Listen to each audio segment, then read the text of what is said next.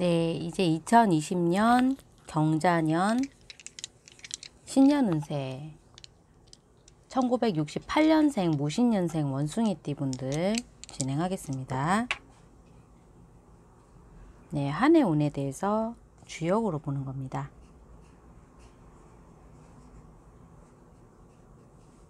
네, 우선은 첫내 무망 나왔고요.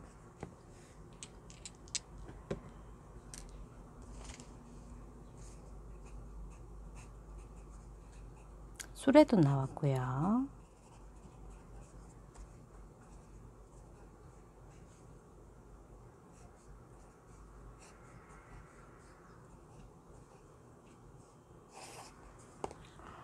어, 이제 답을 드리겠습니다. 네, 우선 흐름을 보기 전에 음, 어떤 기약을 기약을 기다리는 일들, 결과를 기다리는 일들, 뭐 매매운 때문에 본인의 어떤 때를 기다리시는 분들, 답을 기다리시는 분들은 음, 내년이 조금 무신년생 원숭이띠 분들께는 기다려야 하는 한 해가 될 것 같아요.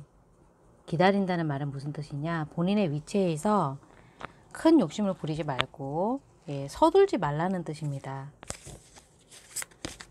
네, 억지로 다른 운을 당겨 쓴다고 뭔가 어, 다른 어떤 술책을 쓰시는 것보다는 각자의 위치에서 공부를 하시면서 좋은 운을 기다리는 것을 추천드립니다. 자, 그러면 전체적인 또 흐름을 보겠습니다. 2020년 흐름을 보는 겁니다.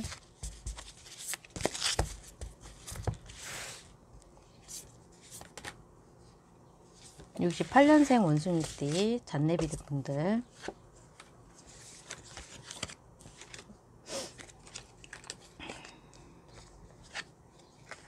네, 나왔습니다. 음, 역시 지금 1년 중에서 여름 전까지인 봄에 좀 어려움이 예상이 돼요. 무신년생 분들 같은 경우는 예, 나쁜 것은 그냥 걸러들으시고 예, 좋은 것만 취하셨으면 좋겠습니다. 운세라는 것은 맹신하시면 안 좋으세요. 욕심이 조금 지나칠 수가 있는데 어, 애정운에 대한 어떤 답을 기다리시는 분들이라면 연초보다는 좀 뒤로 미루셨으면 좋겠어요. 이 부분은 태풍 대가라고 하는 괴고요. 음, 택이라는 것은 바다이고 풍이라는 것은 바람입니다. 조금 지나치다 나의 욕심이 넘칠 수가 있다라고 하는 뜻인데 아무래도 일 때문에 바쁠 수도 있고요. 그리고 본인의 어떤 사업 때문에 다른 곳은 쳐다볼 겨를이 좀 없을 수도 있겠네요.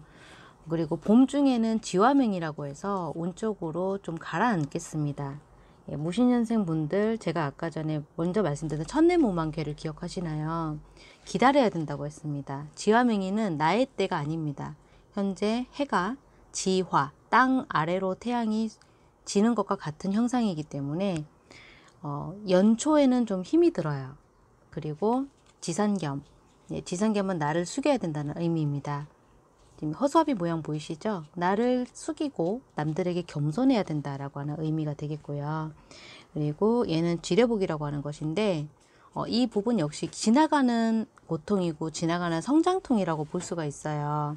어, 이 부분은 또 초여름에 해당이 되겠습니다. 초여름의 흐름이 다사다난하고 바쁘겠지만 뭔가 눈에 보이는 실적은 빨리 오르지 않고 예, 그리고 본인이 기다리시는 어떤 시간들은 촉박한데 그 부분에 빨리 결실이 나타나지 못해서 답답할 수 있습니다. 근데 초여름까지는 그런 흐름이 예상이 되고요.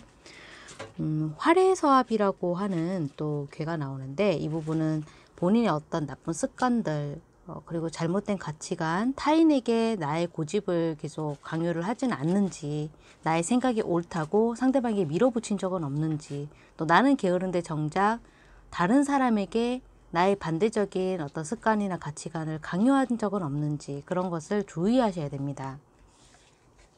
이게 여름에 대한 흐름이고요. 예, 그리고 이제 가을, 초가을로 접어드는 부분은요. 음, 어, 이 부분은 지금 어떤 부분이냐면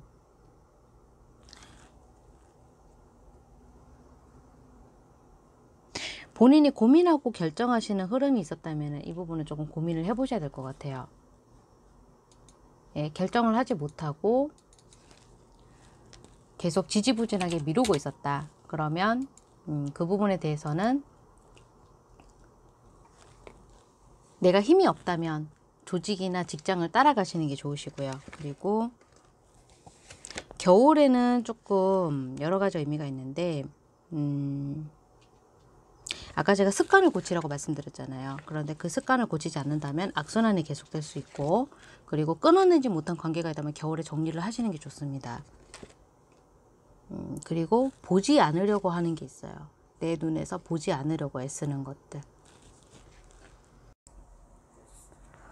어, 네, 지금 겨울 부분까지 말씀을 드리다가 말았는데, 음, 우선 본인의 습관을 고친 다음에, 음, 이 악순환을 벗어나야 할 필요가 있고, 맺고 끊는 걸 확실히 잘 하셔야 돼요. 특히 겨울에 인간관계 때문에 힘들어 하실 수가 있고, 혹은 어, 퇴사 의사를 밝혔는데도 불구하고 회사에서 여러 번 잡기 때문에 그 잡는 부분 때문에 또 다른 기회를 놓친다거나 좋은 기회를 건너뛸 수 있는 그런 우를 범할 수 있습니다. 그래서 해당 부분에 대해서는 말씀드렸듯이 본인이 가실 수 있는 직장, 내가 정말 확실하게 할 수 있는 직군이 보장된 곳이 아니라면 이직은 미루시는 게 좋습니다. 네, 이렇게 1년에 대한 운세를 또 이제 진행을 해봤고요. 어, 좀 가볍게 조언도 한번 해볼게요. 지금 뭐 연애운이라던가 이런 거는 전혀 지금 제가 언급을 안 드렸는데, 음, 무신년생 분들 같은 경우에도 이제 나이를 상관없이 어떤 사랑이라던가 그런 연애나 건강운 여러 가지 또 이슈가 있을 수 있겠죠. 1년 중에도 그런 어떤 조언들을 한번 좀 뽑아보자면, 음, 아, 말씀드렸듯이 기다리셔야 좋아요.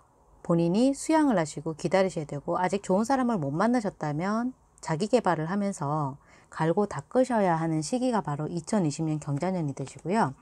그리고 사업이나 직업적으로는 준비하신 것만큼 하반기에 특히 남들에게 뽐낼 수 있는 예, 그런 기회가 옵니다. 남들에게 뽐낸다는 것은 좋은 결실이 있다는 의미겠죠. 네, 그리고 지금 또 제가 쥐고 있는 이 마지막 장 같은 경우는 음, 지풍승이라고 해서 업그레이드가 크게 일어날 수 있는 해라고 봐요. 어쨌든 성장을 하시는 단계이고 예, 끊임없이 노력을 하셔야 되겠지만 뒤에 기다리고 있는 결과는 상당히 좋습니다.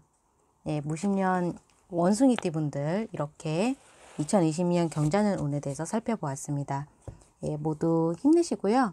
예, 운세는 언제나 그렇듯이 재미삼아서 예, 좋은 거 받아들이시고 나쁜 것은 잘 건너뛰었으면 좋겠습니다. 예, 모두 복 많이 받으세요. 감사합니다.